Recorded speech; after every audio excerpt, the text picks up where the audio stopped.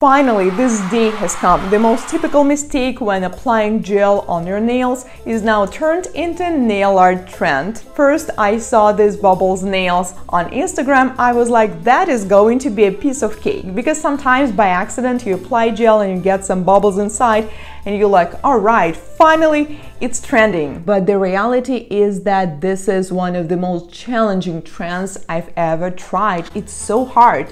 It took me at least three days, an insane amount of different tools and products, trial and errors until I finally figured out how it works. So before we begin, please do not forget to subscribe because I never give up until I make some nail art trend work and we'll explain all the details to you so you can do it as well. Let's get started.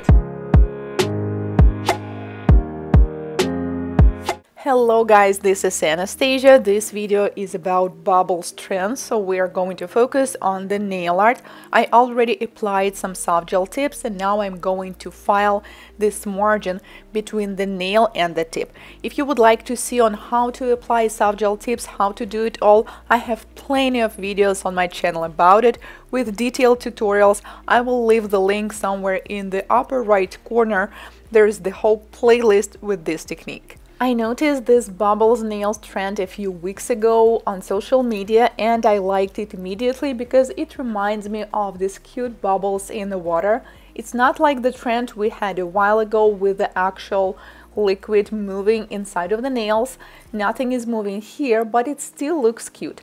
And there were already plenty of tutorials on social media, so I started watching them. In most tutorials, you can see that these bubbles are created by injecting air inside of some gel product.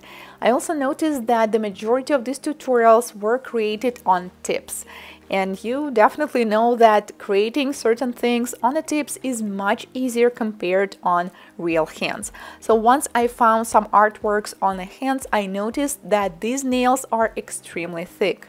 I'm not judging or criticizing these works in any ways and I'm aware that sometimes you need to have some extra volume of the product in order to get the desired nail art and that's totally normal.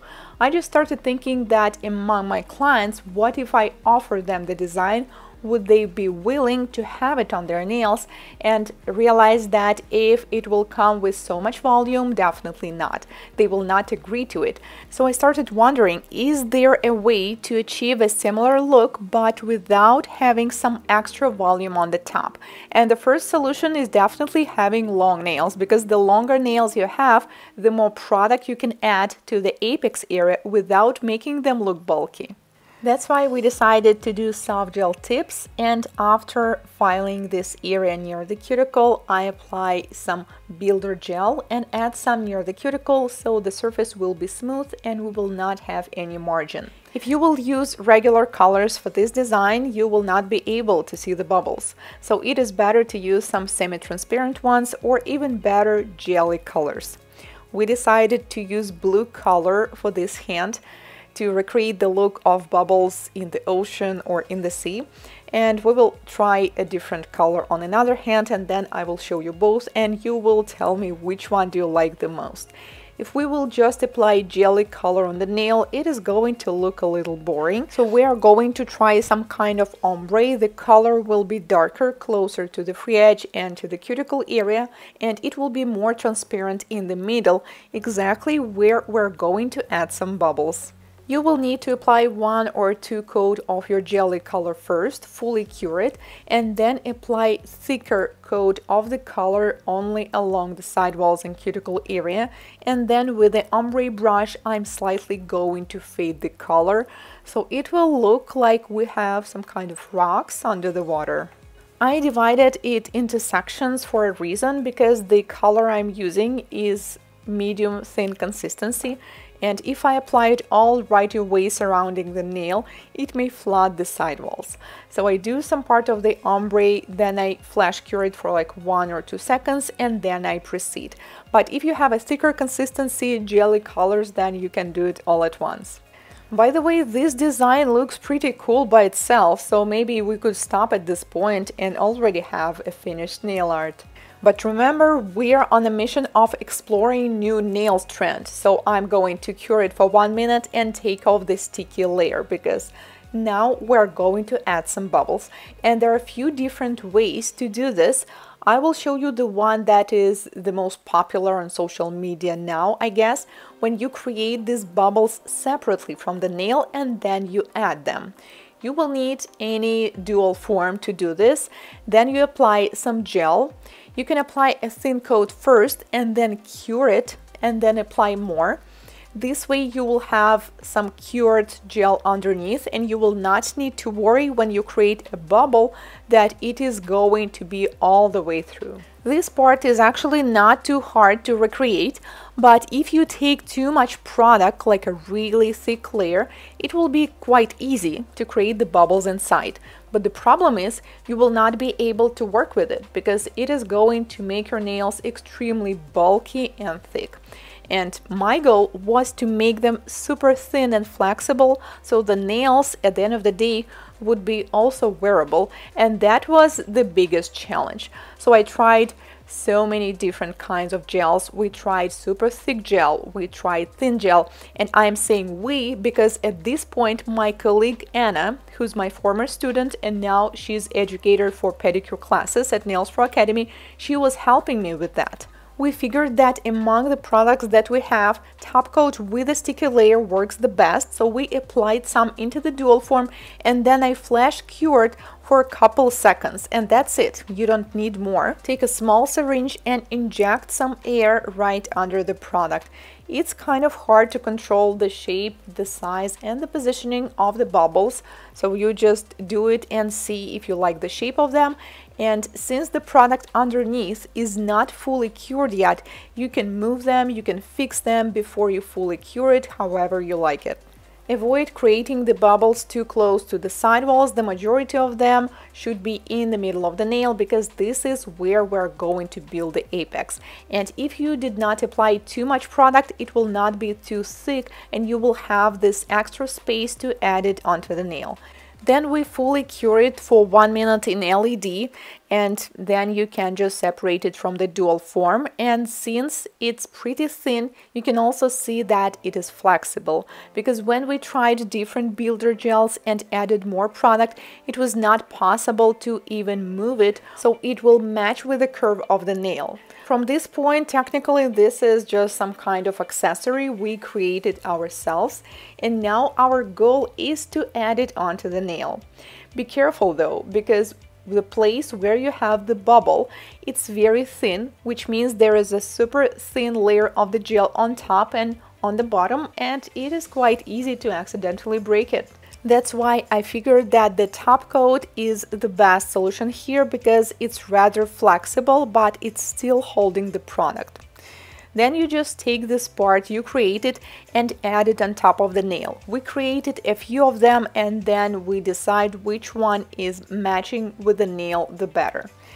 When you're doing the one for the thumb, then it's better to take a larger size of the dual form so it will also match with the shape of the nail and as well as with the curve. Then we check if it is suitable for this nail. It should not be bigger or wider than the nail itself and then it's time to install it. You can use any product of your choice. We decided to use a regular gel. Just apply it, then put it on top of the nail and cure it. Since the product is transparent, we do not need to worry that it's not going to cure. It will be all good.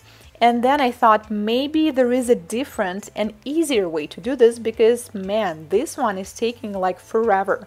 So I tried a different method where we technically do the same, but we're going to inject bubbles on top of the nail itself.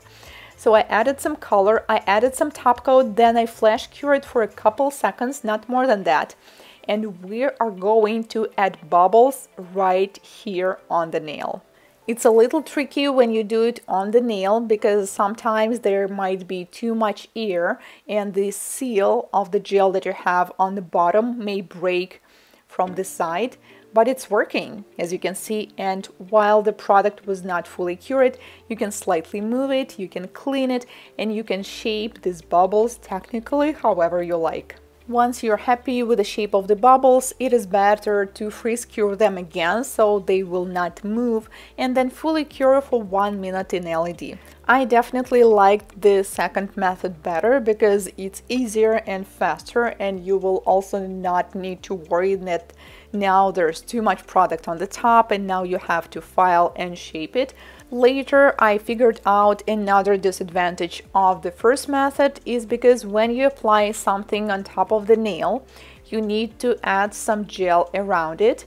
But since our design is completely transparent and technically you can see through every single small bubble, every single line, this line will be visible as well, even if you seal it with a clear gel.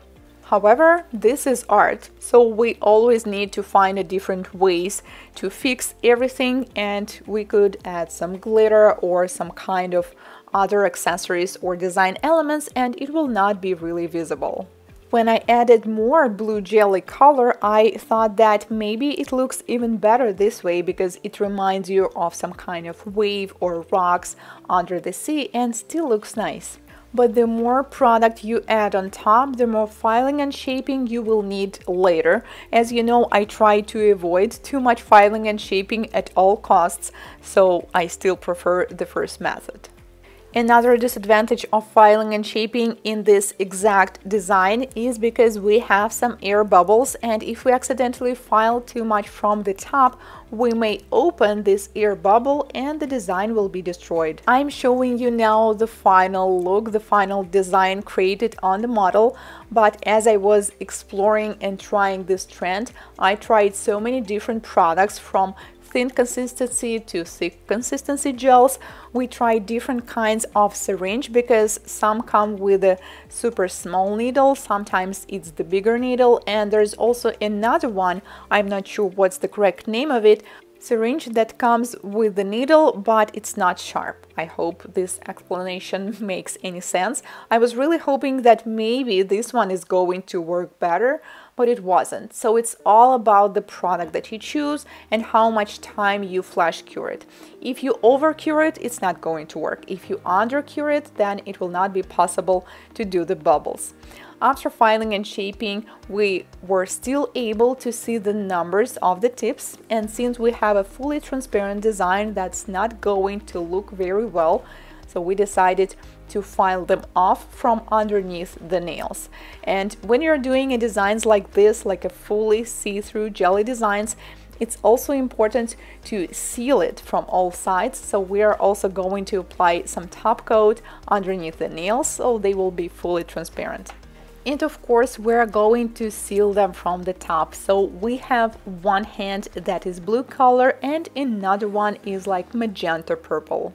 At the beginning I thought that only blue color is going to be suitable for this design because it looks like a water but at the end I loved the second hand as well so let me know which one do you like the most and are you going to try this trend or maybe you already did please let me know which method did you use or are you going to use and what do you think overall about this kind of trends Thank you so much for watching. If this is your first time here on my channel, consider subscribing as I post nail art tutorials and nail art trends, just like this one every week.